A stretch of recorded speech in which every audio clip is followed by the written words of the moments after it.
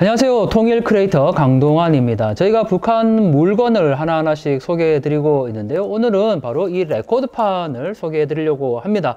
자, 북한에서 지금은 뭐 CD나 DVD도 나오고 있는데 과거에는 카세트 테이프도 나왔고 이렇게 어, 레코드판도 나왔죠. 저희가 아주 귀하게 입수를 한 겁니다. 자, 이 레코드판 조선인민의 위대한 수령 김일성 동지의 탄생 예순돌 기념. 네, 김일성이 태어난 60돌 기념이니까요. 자, 1912년 4월 15일 날 김일성이 태어났으니까 1972년에 나온 레코드판이네요. 60년 탄생 기념. 앞에는 만경대 고향집이 그려져 있고 이 레코드판 아주 기념할 만한 거 뒤에 보면 기차가 있는데 조국 통일호라고 쓰여 있습니다. 뭐 북한이 선전하겠죠. 이렇게 황금벌 들판에 어, 조국 통일을 새긴 기차가 이렇게 어, 달리고 있다 이런 의미를 아마 새겨 놓은 것 같은데요. 설레네요. 조국 통일호라고 되어 있습니다. 자 한번 unboxing 해보면요. 일단 네, 비닐을 네, 제거를 하고요. 이 레코드판 아주 특이한 게 이렇게 양면으로 되어 있는 네, 두 개가 들어 있습니다. 자, 어, 네, 이렇게 두 개가 양쪽으로 들어 있는데 이 김일성 태어난 60주년 기념 레코드판이다 보니까 김일성 하면 가장 많이 부르는 노래, 김일성 장군의 노래가 앞에 악보로 되어 있네요. 이게 장백산 줄기줄기 피어린 자욱 이렇게 하는 노래죠. 네, 북한 사람 누구나 알고 수 있다는 바로 김일성 장군의 노래 있고요. 아, 역시 이 김일성의 사진이 또 이렇게 그려져 있네요. 야, 뭐 그래서 그런지 이 보호 종인가요? 이렇게 딱 네, 보호할 수 있는 그런 종이로 예, 가려놨습니다. 김일성이 백두산에 서 있는 그런 모습으로 예, 만들어 놨네요. 자, 이렇게 또 한 장을 넘기면 네, 악보가 하나 나오네요. 아, 이 노래 어쩌면 좋습니까? 수영님의 만수무강 축원합니다라고 되어 있네요. 이 노래. 자, 참 뭐, 네, 그리고 노래를 어떻게 부르느냐? 흠모의 정을 담아 부른다라고 되어 있네요. 흠모의 정을 담아. 야, 도대체 뭐 빠르게 느리게도 아니고 흠모의 정을 담아라는 이 노래 스타일은 어떻게 불러야 될까요? 자, 이 네, 수령님의 만수무강 축원합니다. 한번 가사를 볼까요? 네. 우리에게 행복을 안겨주시며 한평생을 바치시는 우리 수령님 그 사랑 그 품 속에서 오늘의 이 행복은 꼽혔습니다. 자, 흠모의 정을 담아서 불러야 하는 노래라고 합니다. 자, 이걸 레코드판을 한번 꺼내 보면요. 아주 네, 조심스럽게 한번 네, 꺼내 보겠습니다.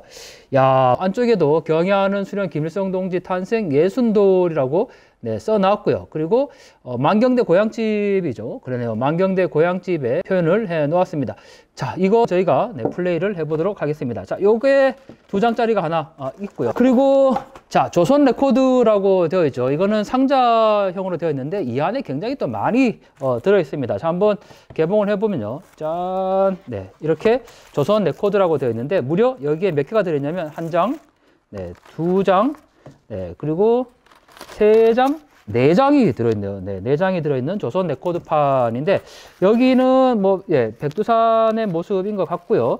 한번, 네, 이것도 역시 개봉을 해보면요. 네, 조선 레코드라고 되어 있는데, 아, 찢어졌습니다. 잠깐. 네. 조심조심 네, 다루어야 되겠습니다. 자, 조선 레코드. 아, 이게 조선 예술 영화에 나왔던 영화 음악을 주로 네, 넣어놨네요. 영원한 혁명의 등대 이런 노래들 영화 음악을 주로 넣어놓은 레코드판입니다. 네 장이 들어있고요.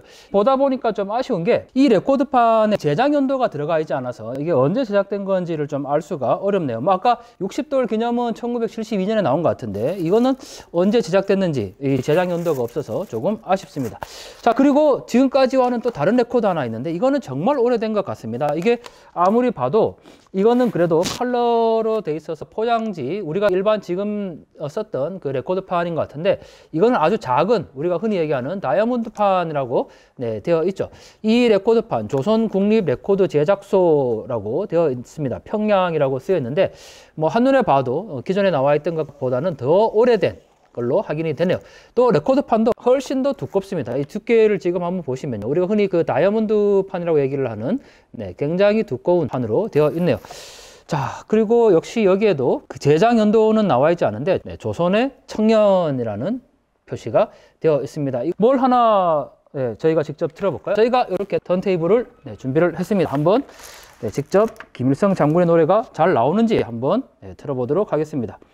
플레이를 해보죠. 자, 1972년이니까 몇 년인가요? 한 벌써 50년 전이죠. 10년 전 레코드판 어떻게 나올지 한번 확인을 해 보겠습니다. 자, 플레이 했고요. 네.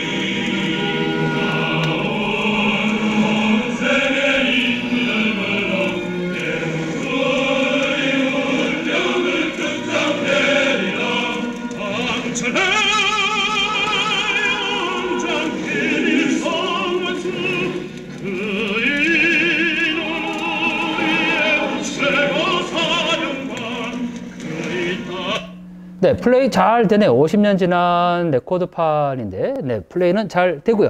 자, 그것보다 더 오래된 거. 이거는 네, 아주 무겁습니다. 이게 보통 우리가 그 다이아몬드판이라고 부르는 네, 그 레코드판일 것 같은데, 자, 이것도 최소 뭐 6, 70년은 될 것 같습니다. 한번 네, 확인을 해 보겠습니다. 잘 나오는지, 플레이가 되는지, 네, 한번 확인을 해 보죠. 자, 과연 나올까요? 자, 플레이를 했는데요.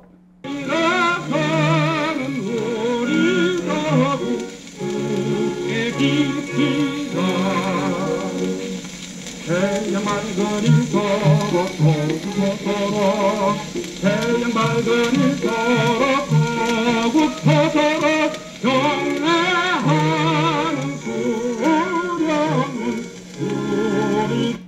네, 역시 이것도 잘 플레이가 되고 있습니다. 거의 한 60년 이상은 된 걸로 어, 추정되는 레코드판인데 잘 네, 나오고 있네요. 자, 조선 국립 레코드 제작소에서 네, 만든 레코드판이었습니다. 자, 저희가 이거 말고도 뭐 만수대 예술단에서 만든 레코드판도 있는데 그거는 다음에 2탄으로 다시 한번 보여드리도록 하겠습니다.